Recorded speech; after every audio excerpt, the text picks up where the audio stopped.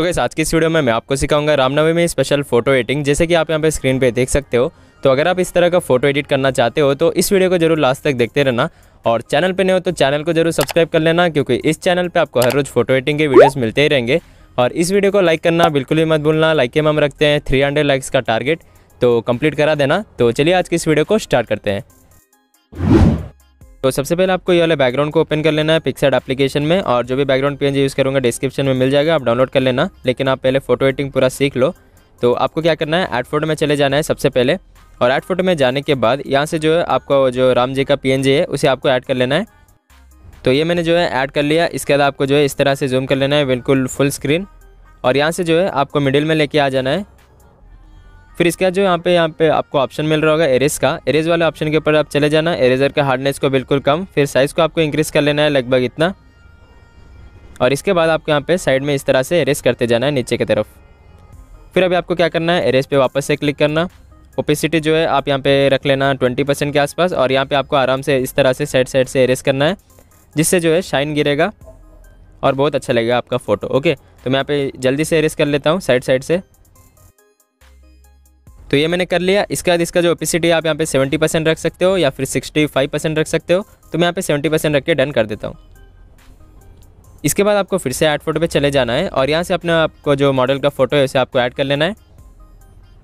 और ऐड करने के बाद आपको इसे कुछ इस तरह से यहाँ पे जूम कर लेना बिल्कुल अच्छे से। और अगर आपको कटआउट करना नहीं आता है तो डिस्क्रिप्शन में दिया हुआ लिंक्स आप सीख सकते हो। और इसे जो है आपको इस तरह से मिडिल में एडजस्ट कर देना है। और और थोड़ा जूम कर लेता हूँ। और ये हमारा हो चुका है, यहाँ से मैं डन कर देता हूँ। इसके बाद हम फिर से जाएँगे ऐड फ़ोटो पे। और यहाँ से जो है, दो स्मॉक का मतलब एक ही पीएनजी होगा, उसे आपको ऐड कर लेना है। ये वाला यहाँ पे आप देख सकते हो रेड और जो येलो कलर है उसे। और इसको जो आपको इस तरह से बिल्कुल फुल स्क्रीन कर लेना है। और फिर आपको एरेज पे चले जाना है। और एरेजर का हार्डनेस को कम करके साइज़ को इंक्रीज़ करके अपने मॉडल के ऊपर से एरेज कर लेना। फिर इसका जो ओपिसिटी है, आप यहाँ पे थोड़ा सा कम कर लेना। मैं यहाँ पे रख लेता हूँ सिक्सटी परसेंट और यहाँ से इसे मैं डन कर देता हूँ। इसके बाद आपको यहाँ पे फिर से जाना है ऐड फ़ोटो पे। और यहाँ से आपको ऐड कर लेना है ये जो रेड कलर का है। इसके बाद जो है आपको एरेस पे चले जाना है और यहाँ पे आपको एरेस कर लेना है। और ये वाला जो पार्ट है, इसको आपको जूम करके इसे आपको एडजस्ट कर देना है इस तरह से नीचे की साइड और यहाँ से आपको जो है डन कर देना है। तो हमारा हो चुका है। इसके बाद हम फिर से जाएँगे ऐड फ़ोटो पे। और यहाँ से हम जो ये वाला है, इसको आपको ऐड कर लेना है फ्लेयर को। और इसका जो यहाँ पे ब्लेंडिंग मोड है, इसे आपको स्क्रीन करना है और इसको जो है आपको यहाँ पे एडजस्ट कर देना है। ये हो गया। इसके बाद आप यहाँ क्या करना, जो इसका ओपिसिटी आप यहाँ पे कम या फिर ज़्यादा मतलब ज़्यादा नहीं कर सकते हो मतलब थोड़ा सा कम कर सकते हो। मैं यहाँ पे सिक्सटी परसेंट के आसपास रख लेता हूँ और यहाँ से जो है इसे मैं डन कर देता हूँ। इसके बाद हम फिर से ऐड फ़ोटो पे जाएँगे। उसी PNG को वापस से ऐड करेंगे इमेज को और इसी बार आपको क्या करना है, जो एडजस्ट वाला ऑप्शन है, यहाँ पर जाना है। सैचुरेशन को बिल्कुल आपको कम कर देना है माइनस हंड्रेड फिर ब्राइटनेस को आपको थोड़ा सा इंक्रीज़ करना है। और यहाँ से डन कर देना। इसके बाद इसका ब्लेंडिंग मोड को आपको स्क्रीन करना है। फिर इसे जो है आपको यहाँ पे एडजस्ट कर देना है। फिर यहाँ पे इसका ओपिसिटी आप कम कर सकते हो। फिर ये वाला आइकॉन पे क्लिक करके एक डुप्लीकेट ले लेना और इसे आपको यहाँ पे भी एडजस्ट कर देना है। ये हो जाने के बाद आपको डन कर देना और दिखाता हूँ मैं आपको बिफोर और आफ्टर ये देख सकते हो बिफोर और आफ्टर कितना अच्छा शाइन आ रहा है मेरे फ़ोटो में। तो ये होने के बाद हम फिर से जाएँगे ऐड फ़ोटो पे। और यहाँ से हम ऐड कर लेंगे ये वाले पीएनजी को। तो मैंने जो है ऐड कर लिया है शेडो के पीएनजी को, इसके बाद आपको इस तरह से जूम करना है, फिर इसको मिडिल में इस तरह से रख के, इसका ओपिसिटी आप यहाँ पे 50 परसेंट रख लेना और यहाँ से जो है आपको इसे डन कर देना है। इसके बाद आपको फिर से ऐड फ़ोटो पे जाके ये वाला जो टेक्स्ट पी है, इसे आपको ऐड कर लेना है और इसको आपको फ़ोटो के नीचे के साइड यहाँ पे कॉर्नर में ऐसे एडजस्ट कर देना है और यहाँ से आपको डन कर देना है। इसके बाद हम फिर से जाएँगे ऐड फ़ोटो पे और यहाँ से हम ऐड कर लेंगे ये वाले PNG को। और इसको आपको यहाँ पे जो है थोड़ा सा यहाँ पे रोटेट कर लेना। मैं डायरेक्ट फ्लिप एंड रोटेट पे जाके कर लेता हूँ। और यहाँ से जो आपको फ़ोटो के जो राइट कॉर्नर है, वहाँ पे आपको एडजस्ट कर देना है। ये होने के बाद डन कर देना।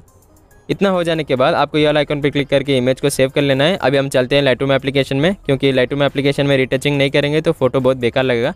तो चलते हैं लाइटूम एप्लीकेशन में। तो मैंने जो ऐड कर लिया है फ़ोटो को लाइटूम एप्लीकेशन में तो आपको सबसे पहले क्या करना है, ये वाला जो आइकॉन है यहाँ पे चले जाना है। फिर आपको मिक्स टूल के ऊपर क्लिक करना है। फिर आपको यहाँ पे ऑरेंज कलर का जो लूमियंस है इसको आपको इंक्रीज़ करना है और सैचुरेशन को इंक्रीज़ करके यहाँ से जो है आपको डन कर देना है। इसका जो ऊपर वाला ऑप्शन है, यहाँ पे चले जाना। एक्सपोजर का आपको थोड़ा सा इंक्रीज़ करना है ज़ीरो पॉइंट ट्वेंटी फिर जो कॉन्ट्रास्ट है, इसको आपको बढ़ा लेना है एट परसेंट फिर हाईलाइट्स को माइनस पे माइनस इतना। फिर आपको शेडो को भी माइनस कर देना है। ओके? ये हो जाने के बाद आपको वाइट्स को यहाँ पे रख लेना है प्लस के साइड और ब्लैक को रखना है माइनस के साइड इस तरह से आपको करने के बाद यहाँ पे जाना है। टेम्परेचर को आपको रख लेना है यहाँ पे फाइव परसेंट पे। फिर वाइब्रेंस को इंक्रीज़ कर देना और सैचुरेशन को आपको थोड़ा सा डिक्रीज़ करना है। ओके? फिर आपको यहाँ पे चले जाना है टेंट वाले ऑप्शन पे। इसको आपको थोड़ा सा इंक्रीज़ करना है। फिर आपको यहाँ पे जाने के बाद थोड़ा सा यहाँ पे आपको क्लैरिटी इंक्रीज़ करना है फाइव परसेंट फिर विगनेट को आपको माइनस पे रख के जो फेदर्स है, इसे आपको फुल इंक्रीज़ कर देना है। फिर ग्रेन अमाउंट पे जाना है। ग्रेन का अमाउंट को ऐड करने के बाद यहाँ पे जाके शार्पनेस नॉइस रिडक्शन और यहाँ पे जो मास्किंग वाला ऑप्शन है, इसको आपको थोड़ा सा बढ़ा लेना है। मैं यहाँ पे रख लेता हूँ थर्टी टू परसेंट और ये हो जाने के बाद हमारा फ़ोटो हो चुका है एडिट और बाकी कुछ और कुछ है नहीं। अब मैं आपको बिफ़ोर आफ्टर बताता हूँ। ये देख सकते हो बिफ़ोर वाला फ़ोटो पिक्सड ऐप में और ये देख सकते हो लाइटो एप्लीकेशन में। सो आई गाइस आपको वीडियो ज़रूर पसंद आएगा। प्लीज़ वीडियो को लाइक करना चैनल को सब्सक्राइब कर लेना इंस्टाग्राम में ज़रूर फॉलो करना। और अच्छा से कमेंट भी कर देना। तो मिलते हैं फिर अभी अगली वीडियो पे।